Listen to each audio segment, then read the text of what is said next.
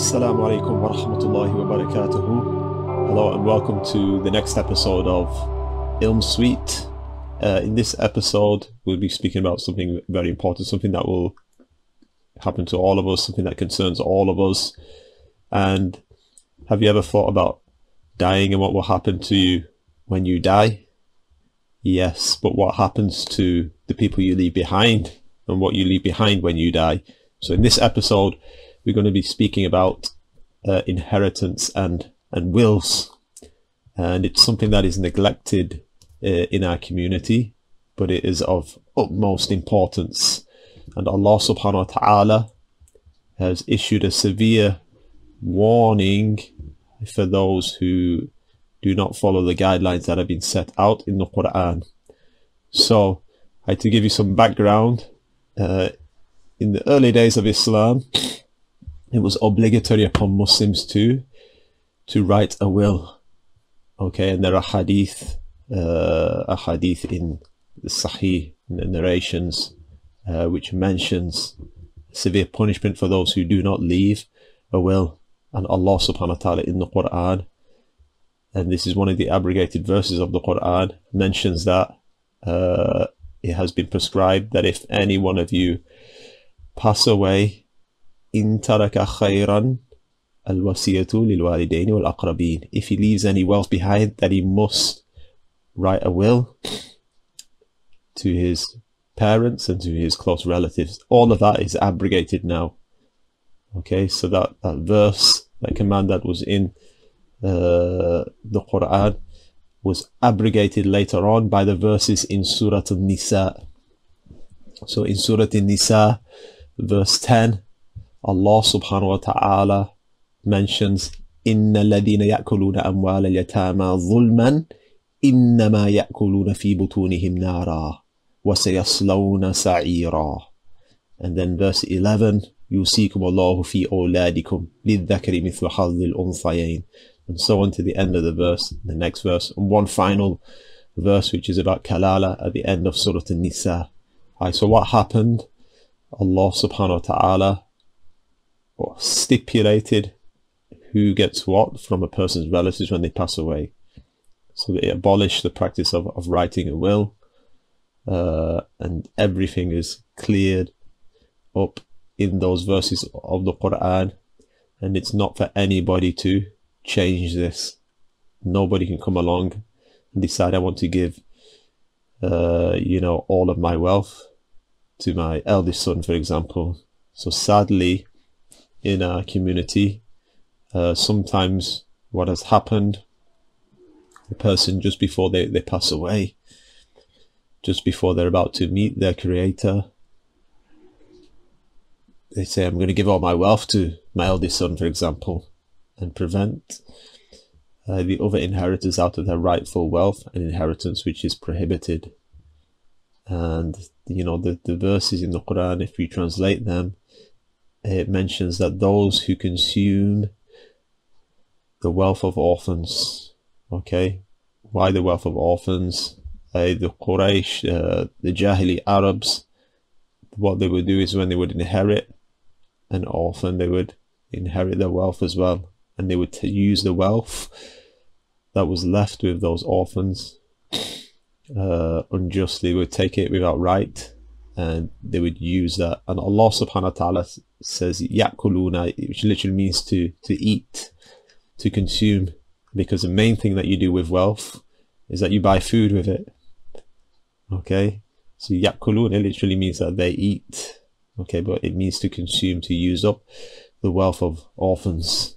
So likewise, you know, those who take any wealth unjustly from a rightful inheritor, they will come under this verse and it is considered as unlawful wealth. And Allah subhanahu wa ta'ala says, in reality, they're only consuming fire into their stomachs. إِنَّمَا يَأْكُلُونَ فِي بُطُونِهِمْ نَارًا They're only consuming fire into their stomachs, Allah says, وَسَيَصْلَوْنَ سَعِيرًا And they'll roast in a blaze. Then Allah subhanahu wa ta'ala, some of the most beautiful language. He says, "You "Yusikum Allah fi awladikum." And you know, this is a play on words in the Quran because the word awsa yusi in Arabic it means to leave a bequest. It means to to write a will. Okay, but here in, in the verse, it also means that to give advice to somebody, to give a direction to somebody like to give a command to somebody. Okay, so you give a command to somebody like to distribute your wealth in this manner. And this is the same word that Allah subhanahu wa ta'ala is using. It's yusikum. The wasiyah is your bequest, is your will. So Allah says, yusikum Allahu fi uladi. Allah instructs you concerning your children. للذكر مثل حظ الأنثيين and so on. Then Allah subhanahu wa ta'ala here lays out all of the categories of uh, the inheritors. So what is the problem that we are facing. One is ignorance in our community that, you know, maybe they don't know that these rules exist even. Or may, maybe it, it's greed. They know they exist, but it's greed or sometimes culture uh, gets in the way, uh, especially the inheritance of females. Uh, there are cultural issues as well. Uh, so it's important that, you know, we, we do uh, create wills especially in the UK, if we're living in the UK uh, in particular, maybe other Western countries as well, uh, even in Muslim countries to, to some extent too, uh, but lesser so. But if you die without a will in the UK, then the UK law will say who gets what. So it's incumbent upon every sane adult Muslim living in the UK to have a will. Okay, and with that will, they will uh, appoint a trustee or an executor of the will who will implement the will according to the Sharia. They'll implement that will according to the Sharia. Okay, so we can't tamper with these rules that are in the, the Quran. And there are things to re remember uh, when doing this in the in the UK. It must be in writing the will, so it can't be verbally even though that would be fine Islamically. But in the UK, the will must be in writing and it must be made by you after the age of 18 and with a sound mind. And it has to have the presence of two witnesses. Okay. And it needs to be signed by those witnesses. But the witnesses, they can't be uh, people who are included in the will as well. So you, you should make that, keep it in a safe place, make a photocopy of it. Okay, and if you need to update it or change it, you can do what they call a codicil. Okay, it's just an official alteration uh, that you make, and then you, you just just sign it uh, and to say that you've you've made a change. Uh, that's fine. So there are a lot of issues to take into account. For most cases, you don't need a solicitor. There's no legal requirement that a solicitor prepares your will. And for most cases, it's straightforward.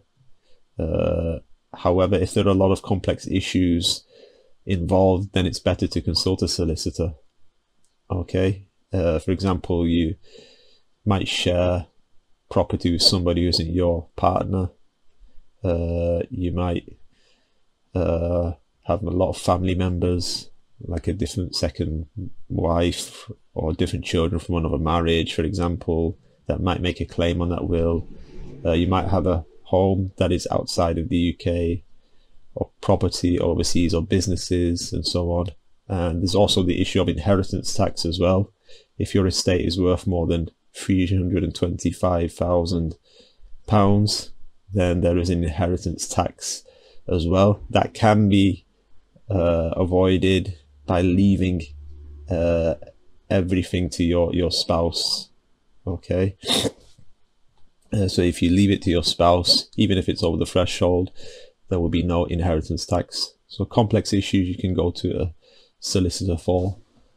Uh, but there is you know some general guidelines that we need to adhere to as well. I've created my own will uh, according to uh, islamic law and according to UK law as well, and it has things in there that uh, many solicitors, you know, they may may overlook. Uh, so it mentions a bequest to be buried in a Muslim graveyard, to have a proper ghusl, uh, not to perform an autopsy, uh, and, and so on, not to be cremated, etc. And there's also sections on, you know, missed prayers or missed fasts or kafarat, uh, hajj maybe that the person wanted to do, they weren't able to do, and so on. Uh, and the general advice as well. So there's general guidelines concerning Islamic inheritance that every last item of the deceased wealth, even the smallest needle and thread, they have to be divided up and distributed between the inheritors. Okay, if it's not possible to do that, then those items are sold and then the money will be divided between them. And then after returning any trusts and deposits to the rightful owners, I then, the first thing we look at are funeral and burial costs. So washing, the shrouding, transportation, the burial place. Okay, we're going to take that out of the wealth of the deceased without being extravagant or stingy. Uh, then we're going to look at debts. Okay, and all of those debts will be paid off equally. Once all the debts are paid off, we can look at uh, wills and bequests. So the will, obviously the inheritance laws are in the Quran. So a man came to the Prophet وسلم, his name was Ibn Afra, and he said, can I, you know, bequest all of my wealth? Can I leave all of my wealth in a will? Meaning his inheritors won't get, get anything. And the Messenger of Allah said, no. Then he said, can I leave half of it in the will? And the Messenger of Allah said, no. Then he said, what about a third? And the Messenger of Allah said, فَالثُّلُث وَالثُّلُثُ كَثِيرٌ Okay, a third then. But a third is a lot. And then the Messenger of Allah said, if, if you, it's better that you leave your inheritors wealthy rather than leaving them poor in a state where they have to go and beg from people, you know, and all of that is, is a charity for the person as well. Okay, even the morsel that he lifts up to place in the mouth of his wife, that is a charity for that person. Therefore, a will is permitted, but it can only be taken from a third of the remaining wealth after funeral and burial costs, after debts. Okay? Unless all the inheritors they agree to permit that that will if it's more than a third you know that's them an act of charity for them. And then the last thing is inheritance. So the inheritors must be given their shares as stipulated by the sharia. Okay? And what i'm working on now is uh, a presentation about one hour or two hour presentation where we can deliver this information to, to the masses. Uh, and if you're interested in this, then please do get in touch with us at IlmSuite or on my own website, marifahessentials.com, and we will come and deliver a presentation in your community center, in your local masjid, or whatever to raise awareness of this issue because we've seen so many arguments that are caused uh, because of because of this issue uh, when Allah subhanahu wa ta'ala has already clarified everything for us in the Quran. And my teachers you know they used to say that the Christians would come to us because they don't have any system in place. It's a blessing that we have such a, an amazing system of inheritance in place. And our teachers would say that Christians would come to us when they would get stuck and they, they would say go to the Muslims because they have a clear system of uh, guidance when it comes to, to inheritance laws. Uh, so it, it's a great blessing uh, that we've got that. Uh, it will end any type of disputes. And like we said in the UK, I, it's it's very very important that we we do this. أقول قولي هذا الحمد لله رب العالمين